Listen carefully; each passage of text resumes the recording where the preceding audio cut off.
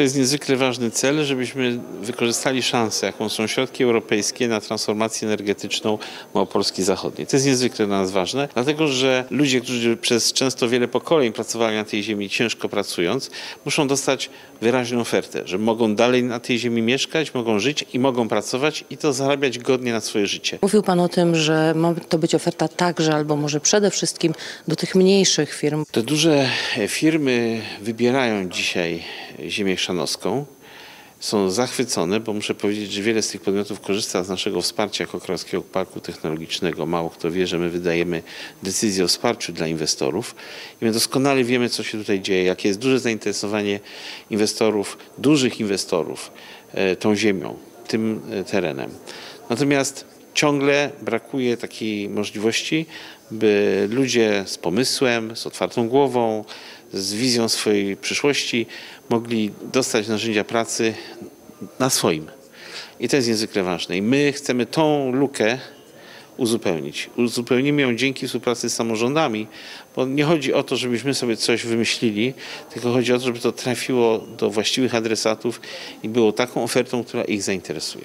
Krakowski Park Technologiczny to jest niezwykle doświadczony podmiot, niezwykle doświadczony partner i wspólnie będziemy realizować projekt, który ma na celu zniwelować e, negatywne skutki e, transformacji energetycznej tu w Małopolsce Zachodniej, a w ślad za tym e, środki, które są dedykowane między innymi dla powiatu chrzanowskiego, chcielibyśmy, żeby były zagospodarowane poprzez firmy, poprzez przedsiębiorstwa, które mam nadzieję otworzą nowe miejsca i stworzą nowe miejsca pracy tutaj na terenie powiatu chrzanowskiego. Jesteśmy atrakcyjnym terenem, bardzo dobrze powiat chrzanowski jest skomunikowany. To jest nie bez znaczenia dla przyszłych e, inwestorów. Kolejne strefy inwestycyjne są przygotowywane przez włodarzy poszczególnych miast. Chcemy przygotować nas wszystkich do takiego łagodnego przejścia transformacji energetycznej, bo wszyscy sobie zdajemy sprawę, że przyszłość kopalń jest już przesądzona.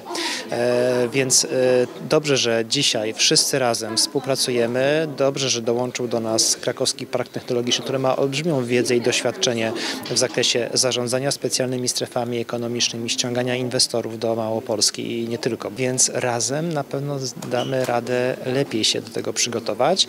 E, Chrzanów tworzy strefę inwestycyjną, Babice tworzą strefę inwestycyjną, w Trzebini funkcjonuje strefa inwestycyjna.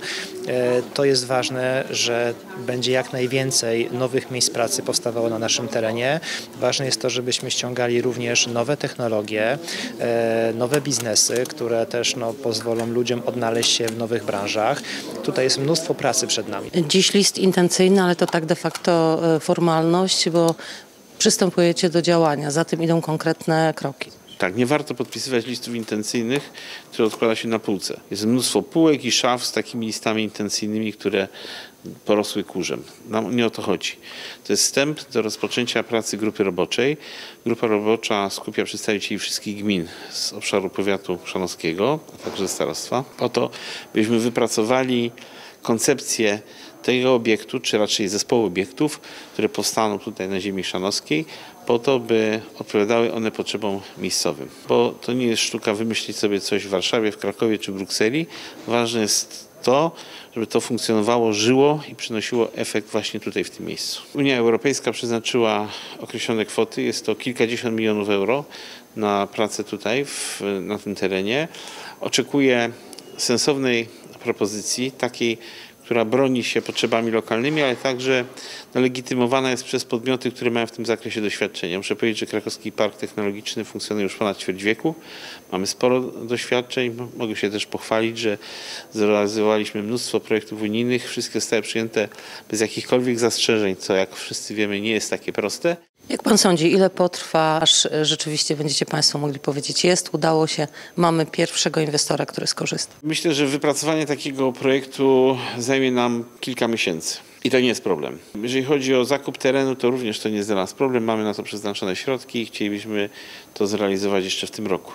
Nawet musimy to zrealizować w tym roku. No teraz jest problem oczywiście decyzyjności po stronie procedur europejskich. Będziemy rozmawiać o tym zarządem województwa, żeby to możliwe było jak najszybciej. No bo jeżeli to zostanie szybko zaakceptowane, no to jesteśmy gotowi od razu przystępować do pracy. Nie ma co zwlekać. Powiem tak, są doświadczenia w różnych parków technologicznych w całej Polsce. które właśnie pod takim kątem były tworzone i one pokazują jedno.